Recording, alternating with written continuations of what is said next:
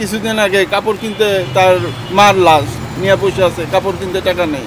তখন আমরা কাপড়টা ফ্রি দিয়ে দিচ্ছি সবচেয়ে কম দামের সম্পদ হলো দুই হাজার টাকা কাপড়। আমি প্রতিদিন আপনার অ্যাভারেজে দৈনিক চারটা বা তিনটা কাপড় বিক্রি করি।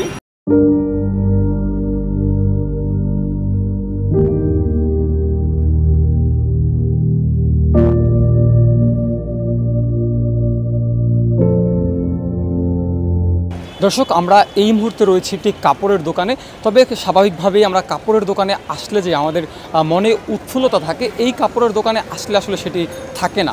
এবং এই কাপড়ের দোকান এমন একটি কাপড়ের দোকান, যেখানে আসলে যার কাপড় সে কখনোই চাইলেও কিনতে পারবে না। এবং তার যে আত্মীয় স্বজন যারা আসলে এই কাপড় কিনতে এখানে আসেন, তাদের মনেও আসলে ওই যে নতুন কাপড় কেনার আনন্দ সেটি উপভোগ করা কখনোই সম্ভব হয় না। আমরা রয়েছি দর্শক, আজিমপুরের কবরস্থানের এক নম্বর গেটের যে শেষ বিদায় স্টোর সেখানে। আমরা একটু জানার চেষ্টা করব আসলে আমরা শেষ বিদায়ে কত টাকার সম্পদ এই পৃথিবী থেকে আমরা আমাদের জন্য নিয়ে যেতে পারি। দর্শক আমরা একটু জানার চেষ্টা করব আসলে একজন মানুষ যখন মারা যায় তারপরে আসলে তার সাথে কত টাকার সম্পদ তিনি নিয়ে যেতে পারেন একটু যদি বলতেন। আমাদের সবচেয়ে কম দামের সম্পদ হলো দুই হাজার টাকা কাপড়। এই কাপড়টাই সম্পদ নিয়ে যাবেন।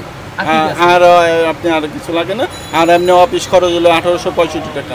ধরেন টোটাল চার হাজার টাকা সম্পদ নিয়ে যেতে পারবেন আর কি কি কাপড় রয়েছে আপনি কাপড়ের সাথে এই যে গোসলে যা যা লাগে ইত্যাদি সব সেট সহ আমাদের একটা কাপড়। গোসলে যে সাবান আছে আতর আছে কর্পুল আছে বেলেট কটম্বার খিলাল এইগুলো এই সাথে সাথে যাবে?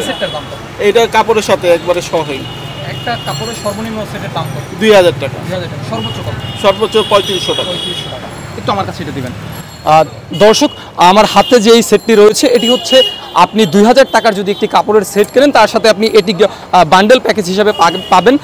তবে আপনি যদি একদম মধ্যবিত্ত বা নিম্ন মধ্যবিত্ত হন, তাহলে দুই হাজার টাকার কাপড়ের সাথে এই প্যাকেজটি আপনার সাথে যাবে আসলে আপনার মৃত্যুর পরে। আর যদি আপনি কোনো ভালো ফ্যামিলির বা পৃথিবীতে থাকতে প্রচুর টাকার মালিক হন, আপনার ফ্যামিলি যদি খুব ভালো হয়, তবে সর্বোচ্চ আপনি পঁয়ত্রিশশো টাকার সম্পদ পৃথিবী থেকে আপনার সাথে নিয়ে যেতে পারবেন। তবে এর বেশি আসলে আমরা চাইলেও নিতে পারব না, সেই নিতে না পারার পরেও আমরা কিন্তু আসলে প্রতিনিয়ত কোটি কোটি টাকার পিছনে ছুটি। তবে আমরা সর্বোচ্চ নিতে পারব তিন হাজার টাকা এবং দুই হাজার থেকে আসলে পঁয়ত্রিশশো টাকা পর্যন্ত। এর সাথে আসলে কি কি নেওয়া হয়? একজন মানুষ মারা গেলে? এর সাথে আর কিছু মারা এগুলোর দাম কেমন আছে? ওগুলোর দাম হলো আপনার বিশ টাকা গোলাপ জলের দাম বিশ টাকা আর এই আগের বাচ্চির দাম হলো দশ টাকা।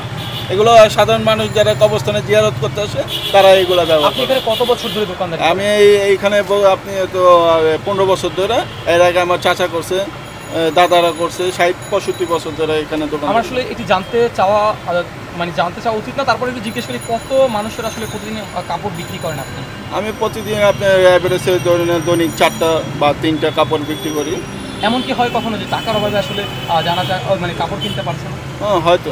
মাসে এরকম দুইটা তিনটা আসে এরকম তখন আসলে কি করেন আপনি তখন আমাদের কাছে আসলে আমরা কাপড় ফ্রি দিয়ে দিই বা আমাদের অফিস অফিসেও ফ্রি কাপড় দেওয়া হয়।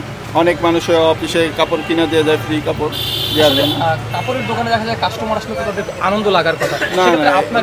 মৃত্যু দোকানে এগুলো আনন্দ লাগার কিছু না আর আমার নিজেরও কষ্ট লাগে। একটা একটা মানুষ যদি যখন আসে দেন ভাই আমার একটা কাপড় দেন আমার বাবা মারা গেছে মা মারা গেছে তখন তো আমারও খারাপ লাগে কখনো হয়েছে আসলে একদম কেঁদে দিয়েছেন দেখার পরে? হ্যাঁ হয়েছে না ওই যে কিছুদিন আগে কাপড় কিনতে তার মার লাশ নিয়ে বসে আছে কাপড় কিনতে টাকা নেই তখন আমরা কাপড়টা ফিরিয়ে দিয়ে দিচ্ছি যে লাশের সাথে বসে বসে কানতেছে দর্শক, আমরা তার কথা শুনছিলাম, তিনি কিন্তু বলছিলেন আসলে, এমন সময়ে আসে অনেকে, অনেক মানুষ আসে যারা আসলে এই শেষ বিদায়ের যে পঁয়ত্রিশশো টাকার কাপড়, সর্বোচ্চ পঁয়ত্রিশশো টাকা, দুই হাজার টাকা যেটি কিনতে পারবেন সেটি আসলে কেনার মতো অর্থ থাকে না। কিন্তু সেখানে আমাদের বিত্তবানদের অনেকের বিশাল অঙ্কের টাকার পাহাড় গড়ার যে প্রবণতা, সেটি আসলে কতটুকু যৌক্তিক সেটি এখন দর্শক, আপনাদের কাছে প্রশ্ন থাকে, আমরা আপনাদেরকে জানানোর চেষ্টা করছিলাম, শেষ বিদায় স্টোরে আমরা, শেষ বিদায় আপনি, আমি আমরা সবাই আসলে কত টাকার সম্পদ এই পৃথিবী থেকে নিয়ে যেতে পারব সেটি সাইফুল ইসলাম জায় জায়দিন ঢাকা।